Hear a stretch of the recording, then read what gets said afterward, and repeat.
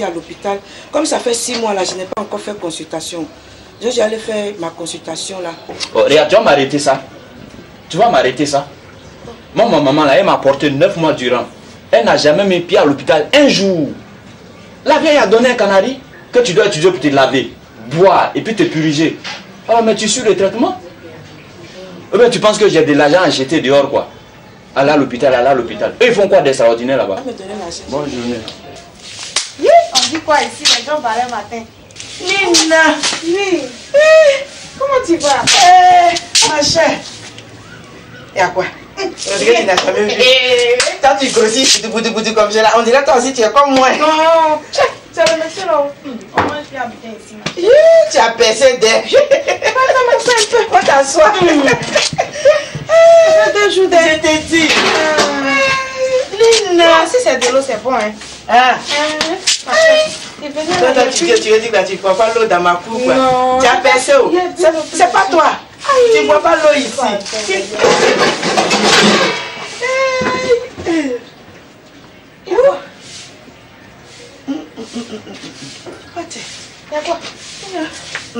C'est arrivé ou bien?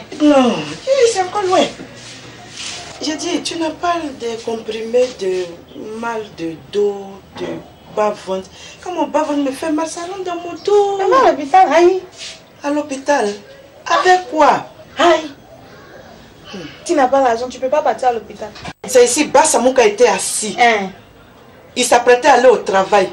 Donne-moi l'argent, je vais aller faire consultation. Première consultation. Depuis 1, 2, 3, 4, 5, 6 mois, tu n'as pas encore fait. Consultation prénatale. Eh, hmm, c'est pas moi. oh. Consultation prénatale qui est importante comme ça là. Tu vas à l'hôpital, les femmes là, elles te regardent. L'enfant là, il est bien placé, il n'est pas bien placé. On doit te donner fait, tout ça, on te dit. Jusqu'à tu as laissé 6 mois. Hein? C'est pas moi. Tu peux pas, tu pourrais pas me dire ça. C'est combien même? Je sais même pas. Et si je touche du bois, hein, demain là, si tu vas à l'hôpital, qu'il y a des complications, qu'on doit t'évacuer là, on fait comment? Donc, on peut m'opérer. Tu vas partir à l'hôpital, on peut t'opérer. Si c'est compliqué là. Eh, opération. Opération. Opérer. Dès les premières semaines du constat fait qu'on n'a pas ses menstrues, il faut déjà véritablement consulter. Consulter un médecin ou alors euh, une sage-femme qui vous dira l'attitude à tenir. Qui vous dira l'attitude à tenir, de sorte que euh, y a véritablement des mouvements que vous ne, pouvez, pas faire. Si vous êtes une femme qui en est bien des mouvements que vous ne pouvez pas faire, euh, il y a aussi que euh, dès les premiers instants de la grossesse, il y a une alimentation qu'il faut avoir, une alimentation qu'il faut avoir. Si vous ne l'avez pas, véritablement, ça peut créer à la longue des problèmes. Mis à part le dénuement des maternités, il y a le laxisme qui est constaté au niveau de notre personnel euh, soignant, notamment des, des sages-femmes, il y a ce laxisme, il y a le manque de motivation chez elles, parce que, bon, certainement, il y a quelque chose à faire en amont.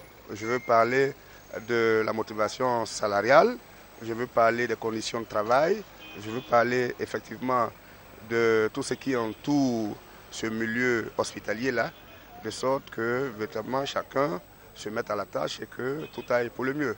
Pour moi, les causes euh, sont que de nos jours, les, les femmes, quand elles prennent des grossesses, sincèrement, elles refusent d'aller à l'hôpital pour des consultations prénatales. Elles préfèrent des, des médicaments indigènes.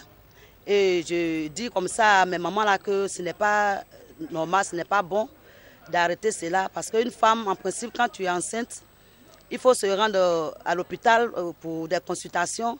C'est en fonction cela qu'on peut savoir juste de quoi tu souffres. Nos mamans que Dieu a fait la grâce euh, d'être euh, vraiment sage-femme dans les hôpitaux, je, je vais parler aussi, je vais m'adresser vraiment à toutes ces mamans-là. De faire un effort, de, de respecter vraiment le travail qu'elles ont choisi. De faire.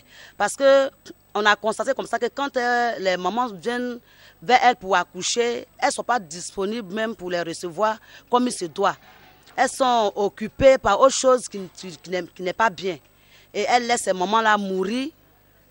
Et vraiment, cela nous fait mal au cœur. Donc, elles ont qu'à se ressaisir et de prendre leur travail à cœur. Heureuse de vous retrouver à ce autre numéro de C'est pas normal, toujours consacré aux causes de la mortalité maternelle et infantile en Afrique. Pour ce fait, nous sommes toujours en compagnie de Dr Adam. Bonjour Dr Adam. Bonjour fidèle. Merci pour votre fidélité. C'est moi qui vous remercie. Alors, en plus des causes évoquées dans l'émission précédente, de quoi meurent les femmes en donnant la vie? En plus euh, des causes évoquées déjà, nous pouvons parler aussi de la fécondité élevée. Quand nous parlons de fécondité élevée, nous voulons nous attarder sur le fait que aujourd'hui en Afrique, une femme est valorisée lorsqu'elle fait beaucoup d'enfants. Et on remarque que ces femmes commencent à donner la vie très tôt. Et nous savons que l'âge influence le risque de décès maternel. On est d'accord?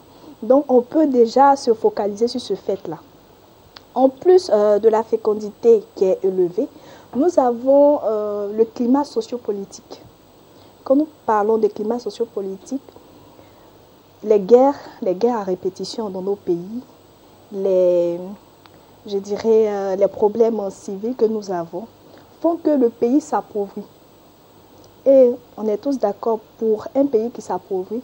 C'est clair que les foyers n'ont pas assez de moyens pour pouvoir euh, visiter les soins de santé en ce qui concerne le suivi de la grossesse, mais aussi de l'accouchement et de l'après-accouchement. Alors, euh, si nous mettons tous ces facteurs ensemble, c'est clair que le, taux de mortalité maternelle en Afrique sera toujours élevé. C'est clair que le, le, taux sera élevé. Vous voyez, en 2000, déjà plus de 180 pays s'étaient réunis pour trouver des objectifs du millénaire pour le développement. Et parmi ces objectifs-là, on avait l'objectif 5 qui était de, de, réduire la mortalité maternelle de près de trois quarts. En 2005, il y avait 1500 femmes qui mouraient par jour. Et ces 1500 femmes. En Afrique ou dans un pays Dans le monde. Dans le monde. Dans le monde. Et parmi ces 1500 femmes qui mouraient par jour, il y avait 99% qui étaient en Afrique. En 2014, mai 2014, le taux de mortalité maternelle a baissé. De 1500, nous sommes passés à 800 femmes qui décèdent par jour.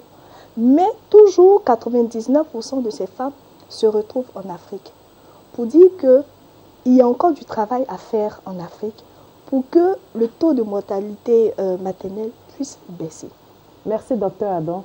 Nous allons illustrer encore vos propos par un élément proposé par le Fonds français Muskoka sur la mortalité maternelle et infantile au Bénin.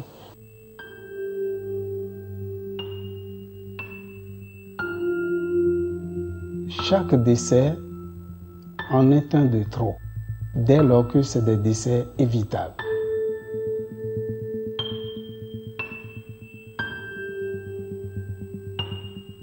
S'il n'y a pas assez de personnel, ça ne garantit pas la qualité des soins et la continuité des soins aussi en portera un coup.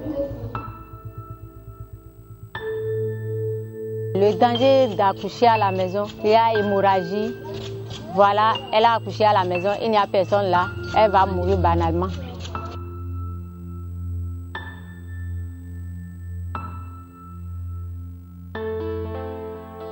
La santé maternelle, néonatale et infantile est la clé de voûte d'un développement juste et durable des pays d'Afrique subsaharienne. Aujourd'hui, nous sommes encore loin d'offrir à toutes les femmes et tous les enfants un accès à des soins de qualité en quantité suffisante.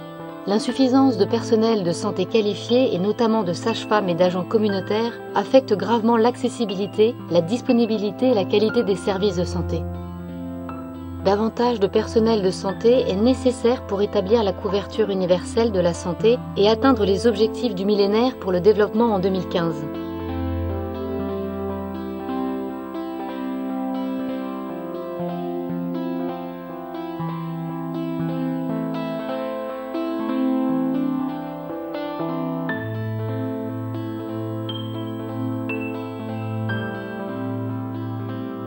Les violences physiques et les entraves économiques faites aux femmes constituent également une menace pour la santé maternelle et infantile.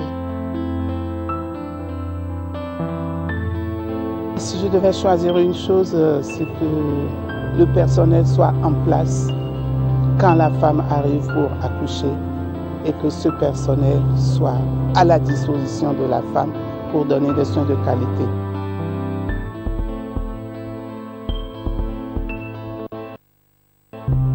Dans l'absence de personnel de santé, ce ne sont pas seulement les mamans et les bébés qui sont vulnérables. Les enfants et plus tard les adolescents, eux aussi risquent gros. Les mariages et les grossesses précoces induisent des risques mortels pour les adolescentes.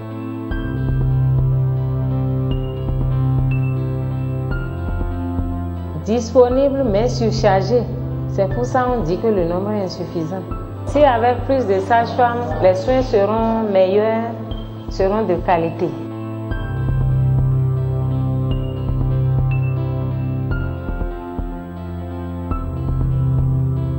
Fonds français Muscoca répond à une priorité sanitaire, celle du renforcement des systèmes de santé dans 10 pays d'Afrique subsaharienne, francophone et en Haïti. Aujourd'hui, il faut répondre à la pénurie et à la répartition inéquitable du personnel de santé, de sorte qu'il soit qualifié au bon endroit et au bon moment. La santé est un droit dont doit jouir chaque citoyen et ce droit doit être garanti par les gouvernants. Muskoka permettra de sauver la vie de millions de femmes et d'enfants. J'y crois. J'y crois. Et j'y mettrai toutes les ressources personnelles que j'ai pour faire en sorte que la situation change. Je suis réellement optimiste. Merci au Fonds français Muskoka pour cet élément. Docteur Adon, dans cet élément, la sage-femme a dit présente mais surchargée. C'est pour cela qu'on dit que le personnel est insuffisant. Le personnel est insuffisant. Déjà, je l'avais déjà évoqué dans les Mhm. causes passées. Pour dire que nous n'avons pas assez d'infrastructures sanitaires, mais en plus de cela, le personnel médical ou paramédical qui doit prendre en charge la femme et l'enfant n'est pas un grand nombre dans les pays en voie de développement. Mais est-ce qu'il est qualifié en plus d'être- de ne pas être en grand nombre? Euh, qualifié, cela va dépendre de ce que on entend par qualifié. Sinon, la plupart des médecins ou des sages-femmes ou des gynécologues ou encore des infirmiers dans certaines contrées euh, du continent sont quand même qualifiés. On est d'accord? Mais sauf que le plateau médical, comme je le dis toujours, les médicaments dont on a besoin ne sont pas tout le temps disponibles. Merci bien, docteur Adon. Alors, nous allons inviter le public à donner sa contribution. Je suis Madame Koumkorgo. Je pense que les femmes qui sont enceintes, qui sont battues par leur mari, c'est pas normal. Ça peut causer la mort de la maman et de l'enfant. C'est pas normal. Larissa Ongwan. Disons qu'en Afrique, les jeunes filles n'ayant pas encore l'organisme prêt à contracter une grossesse peuvent perdre la vie en donnant la vie. Ça, c'est pas normal. Madame Ouidrao, c'est vrai, nous constatons que sur le terrain, beaucoup de femmes qui viennent pour accoucher n'ont pas suffisamment d'argent pour la prise en charge. Elles souffrent beaucoup et nous constatons également qu'il n'y a personne auprès d'elles pour les soutenir financièrement. Et cela également est un aspect qui peut engendrer beaucoup de difficultés. Beaucoup de femmes n'ont pas la décision pour aller dans les structures de santé. Une fois qu'elle est en travail, elle ne peut pas se décider d'elle-même à aller dans les structures de santé. Il faut, la, il faut que la décision vienne soit du beau-père ou soit du mari, qui ne sont pas souvent là. Cela entraîne vraiment des fâcheuses. muso minnu bɛ o b'a de sɔrɔ o ni min b'i kɔnɔ la n'o ma sa min b'i bolo o le bɛ na. Sa ubiyɛn i yɛrɛ de taga ni kɔnɔ nin ye. Muso minnu fana bɛ denkɛ la fo den tan olu de bɛ hakili sɔrɔ ka denkɛ siyaman dabila. N'o ka denkɛ siyaman dabila ɲa bɛna sɔrɔ musow la ko ma. Dɔ bɛ bɔ saya la. Merci à toute l'Afrique pour sa contribution. Docteur Adam, en plus des causes de la mortalité maternelle, qu'est-ce qu'on peut évoquer pour les causes de la mortalité infantile? Merci Fidèle. Concernant les causes de la mortalité infantile, il y a trois principales causes qui entraînent le décès des enfants de moins de 1 an. Il s'agit d'abord de la prématurité. La prématurité, c'est le fait qu'un enfant vienne au monde avant les 9 mois. Et parfois, nous savons que le système immunitaire de l'enfant n'étant pas à sa maturité, cela peut entraîner des infections que l'enfant peut faire et décéder. Mais qu'est-ce qui peut entraîner un enfant à venir avant terme Il y a plusieurs facteurs qui rentrent en compte. Nous avons par exemple des infections euh, de l'utérus, parfois des avortements qui ont été déjà faits dans le passé. En tout cas, il y en a assez qui, qui peuvent être à la base de la prématurité. Nous avons aussi des femmes qui ne se reposent pas. C'est dû au cours de la grossesse. Elles, elles, elles ont en face des travaux champêtres assez élevés par rapport aux forces qu'elles ont. Donc cela aussi peut entraîner la prématurité, c'est-à-dire euh, entraîner un enfant qui vient avant terme. En plus de la prématurité, nous voyons aussi que des enfants qui, qui naissent sont susceptibles d'infections. Et l'une des principales infections qui tue un plus grand nombre d'enfants, c'est la pneumonie. La pneumonie, c'est une maladie des poumons qui est due soit à un virus ou à une bactérie. Et ceci est dû à souvent le cas de vie de, la famille, de la mère. L'hygiène n'y est pas. Et souvent, c'est à la suite de cela que l'enfant peut attraper et un peu contracter cette pathologie. Mais aussi, euh, peut avoir aussi la diarrhée. Et nous savons que la diarrhée est l'une aussi des maladies qui entraînent un grand décès des, des, enfants de moins de 1 an, vu que leur système immunitaire n'est pas euh, véritablement en phase de lutter contre ces pathologies. Une femme qui n'est pas décédée, qui est bien vivante, qui allait son enfant, qui a un système immunitaire bien assis, on peut assister à un cas de pulmonie ou un cas de diarrhée, c'est possible? Oui, c'est possible. C'est possible parce que tout ceci rentre dans le cadre de l'hygiène. Donc, c'est pourquoi il faut que les agents de santé accentuent la sensibilisation. Nous avons aussi le paludisme. Vous savez que l'Afrique est un pays où sévit euh, le paludisme. Et le paludisme aujourd'hui tue euh, près de 15%, quand je dis 15% sur 100 enfants, le paludisme tue 15 enfants. Donc pour dire que le paludisme est une maladie aussi mortelle pour les enfants. Bien vrai que euh, l'alimentation, le lait maternel va protéger l'enfant jusqu'à 6 mois, il faut dire qu'après les 6 mois, l'enfant devient vulnérable. Donc il y a des mesures qu'il faut prendre en compte, tant par aujourd'hui euh, par la distribution de, moustiquaires dans le but d'éviter euh, euh, cette pathologie, mais aussi le cas de vie, toujours l'hygiène, pouvoir euh, maintenir son cas de vie propre pour ne pas que l'enfant puisse euh, contracter ces maladies qui entraînent le décès de celui-ci. Merci bien, docteur Adam, pour toutes ces définitions. Quelle est votre conclusion? En conclusion, nous dirons que la mortalité maternelle et la mortalité infantile sont toujours élevées en Afrique. Et les causes sont nombreuses. Parmi ces causes, nous avons déjà cité les différents retards qui font que la mortalité maternelle est élevée en Afrique, mais aussi euh, des maladies dues à l'hygiène et à l'environnement de, de l'enfant, de la famille, qui font que l'enfant de moins de 1 an, qui a un système immunitaire euh, faible, peut décéder. Alors tout ce que nous dirons, nous allons convier nos, nos politiques, mais la population aussi, à pouvoir s'investir dans cette lutte-là. Parce que les politiques ne pourront rien faire sans la population, ne pourront rien faire sans les, les médecins, ne pourront rien faire sans les agents de santé. C'est tous ensemble que nous pourrons vaincre cette mortalité. Je ne saurais terminer sans remercier l'UNICEF, euh, le Fonds français Muskoka, pour le travail qu'ils abattent dans la lutte euh, contre la mortalité maternelle et infantile.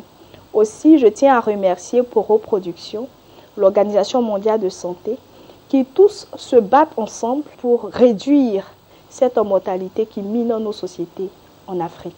Merci infiniment, docteur Adam, pour votre contribution. C'est moi qui vous remercie. Une chose est sûre, La mortalité maternelle et infantile seront bientôt un triste et lointain souvenir pour l'Afrique. Mais comment y arriver? Rendez-vous donc pour le prochain numéro de C'est pas normal consacré aux propositions de solutions. Et cette fois-ci, nous serons en compagnie de Dr Maison. Merci à tous et que Dieu bénisse l'Afrique.